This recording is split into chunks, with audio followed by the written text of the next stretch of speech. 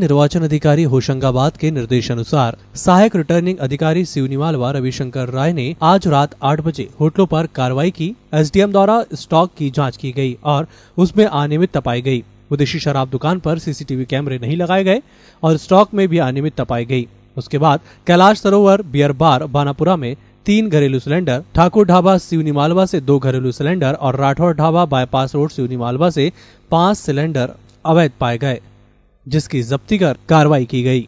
होशंगाबाद से EMS TV के लिए कमलेश गौर की रिपोर्ट।